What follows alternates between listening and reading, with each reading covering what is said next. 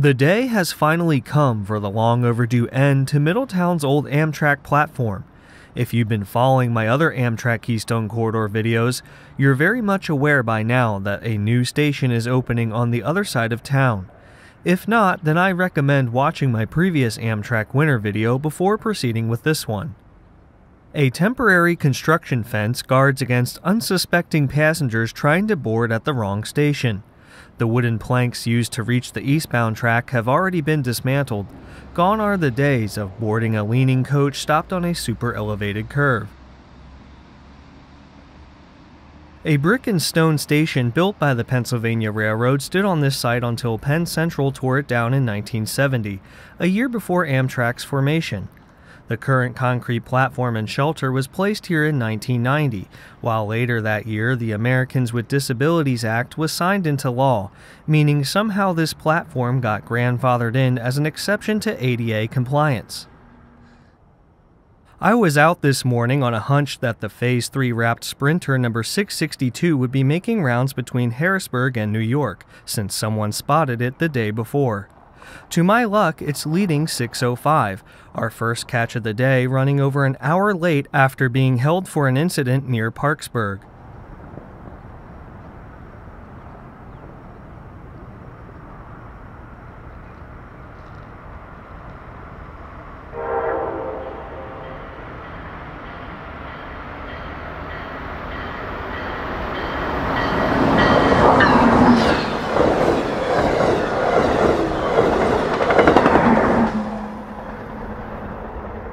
I couldn't tell you why 662 is even on this train, placed ahead of a cab car, but I am not complaining since the wrap is only supposed to be on until May.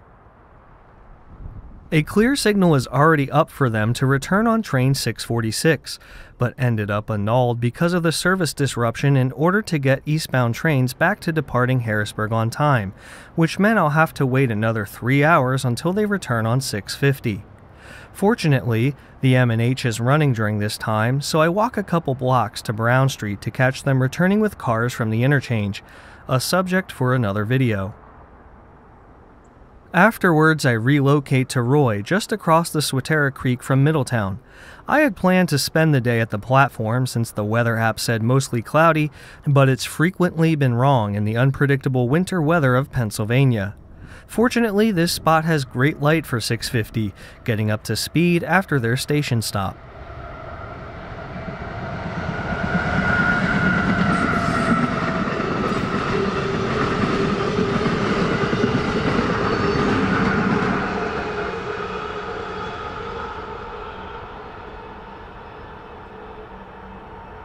The nice lady that lives next to the tracks here chatted with me for a bit and warned me to stay off the tracks because there are sensors that will notify Southern Pacific Police. I don't know how you get Southern Pacific from Amtrak and Norfolk Southern, but I had a quiet laugh at that comment. Back at the platform, 643 flies by with a double headed set and no cab car.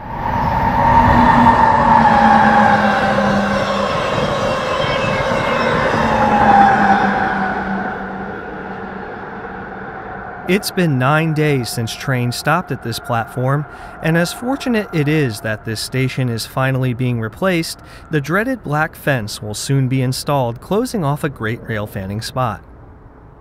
I head back to Royalton for 42 with our second Heritage catch of the day, P42 number 100 wearing the Midnight Blue 50th anniversary scheme.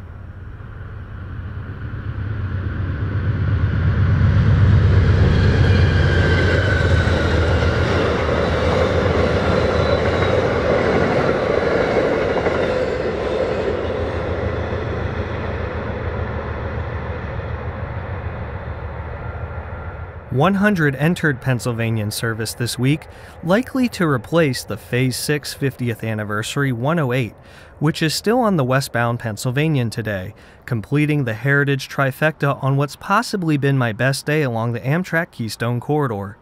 But what happens next is something I'd prefer to never witness again. As 43 barrels through Roy at 80 miles per hour, off to my right is a group of trespassers that made the unwise decision to walk across the Swatara Creek Bridge, and then this happens.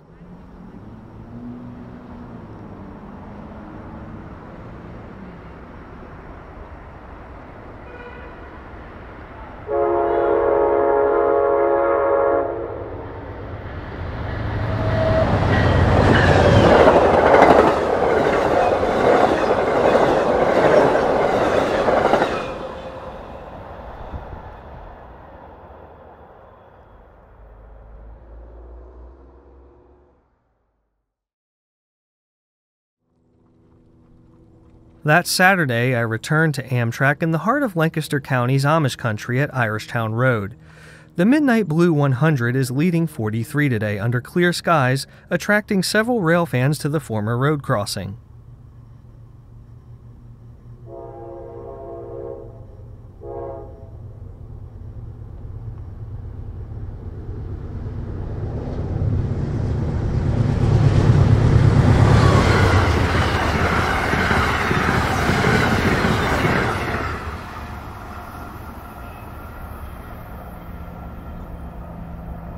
I stuck around for 42 at Bird in Hand, but they were running so late thanks to delays west of Harrisburg on the Norfolk Southern Pittsburgh line that 670 arrives first, which typically departs Harrisburg an hour behind 42.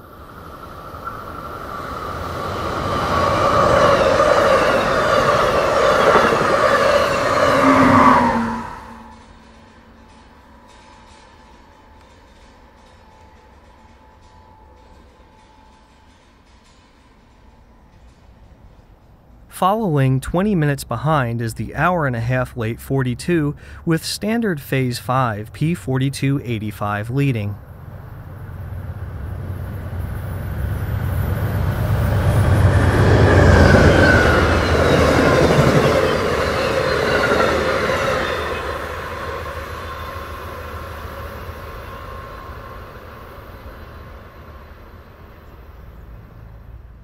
The lighting was so good I went back to Irishtown for 665, taking in the traditional side of life while I waited.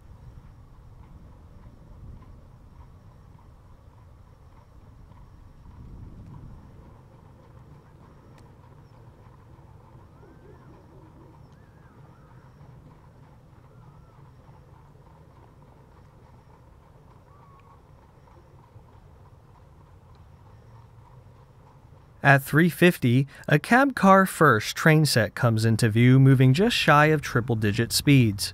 Despite Irishtown Road and the rest of the grade crossings being removed several years ago, this section of track still remains 110 mile per hour service, though the curve in the distance is only rated for 95.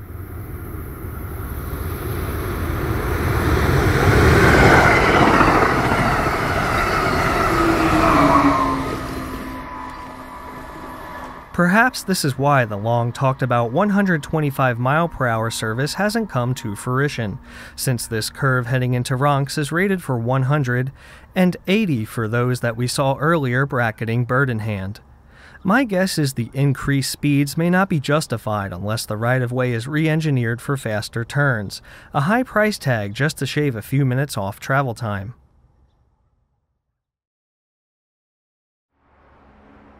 The next day, I went over to Rheems to catch 100 returning east on 42. The weather app was correct today overcast skies with a chance of snow flurries.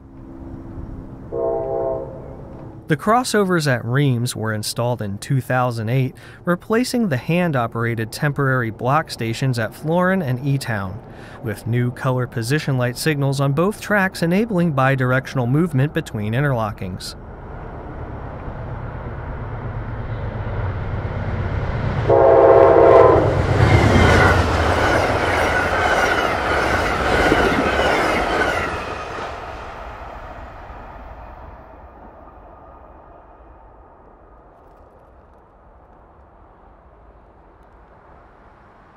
Lot has changed in the few days since I was here. A set of mini excavators have showed up on site and the handrails have been removed from the walks. A clear signal is up at Roy for train 670 as a wave of snow flurries moves in. This would be the last Keystone train I film at this location, and a friendly engineer made sure to make it a memorable one.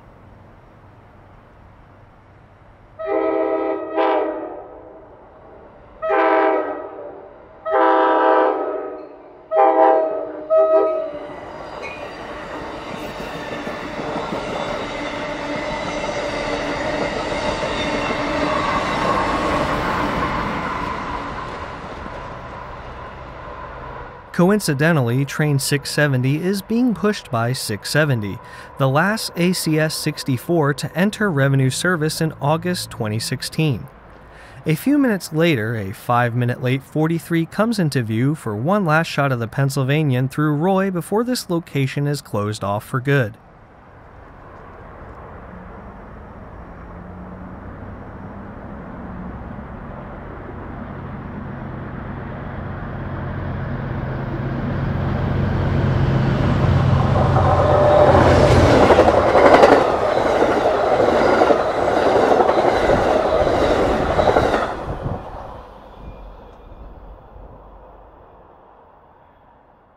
Snowy and icy weather with temperatures in the teens have likely delayed quick work at dismantling the station up to this point, but I learned the shelter would be removed later in the week. Afterwards, I went over to check out the new station, finally a reality 10 years after planning started.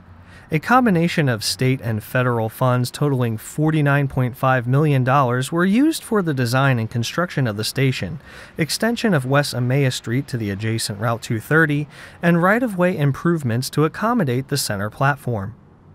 The Ann Street location was chosen in 2011 for its proximity to the town, airport, and Penn State Harrisburg campus, originally estimated to open in 2013, then 15, then 18, and well, you get the idea.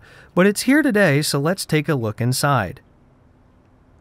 The tracks immediately to the left are the Middletown and Hummelstown Railroad interchange, formerly a junction between the Reading and Pennsylvania railroads.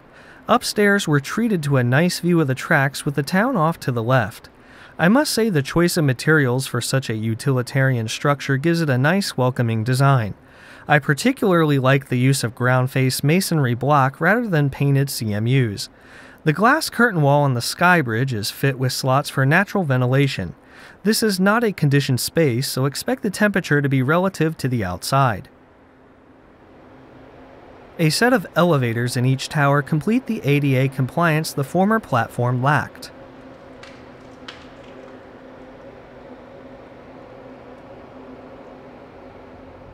Here's the overhead view of the M&H tracks on the right, with westbound track 2 on the left toward Harrisburg.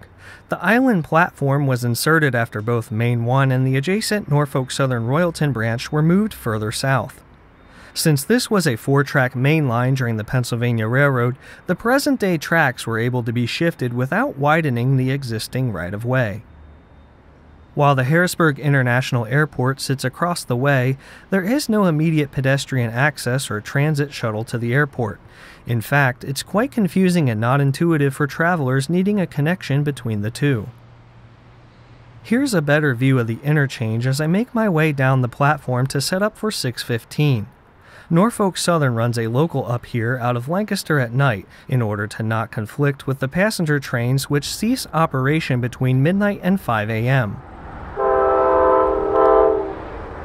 The Sunday only 615 fills a nice gap in the afternoon for travelers returning from a weekend visit to Philadelphia, in an otherwise sparse schedule with some service reductions still lingering from COVID.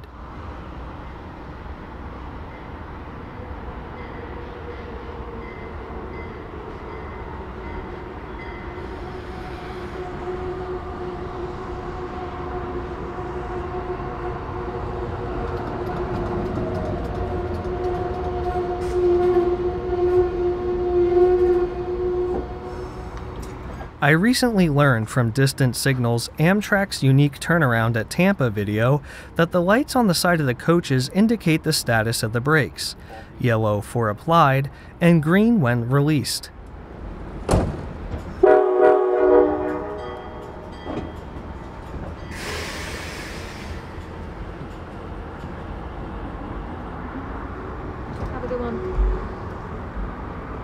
Some coaches even have a third red light, not often seen as it only lights up during an emergency application.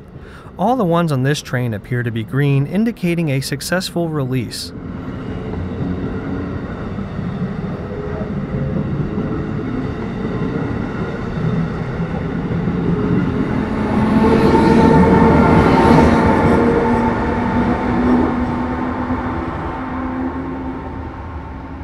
615 gets back to speed only about 13 minutes away from their final station stop at Harrisburg. Off to the right is the remaining stub of the Fruehauf branch that ends just across Route 230, that I visit and discuss in the previous video. Of course, no visit here would be complete without catching a train from the Skybridge, a somewhat unique angle since most overpasses have high enclosed fencing to guard the live wire.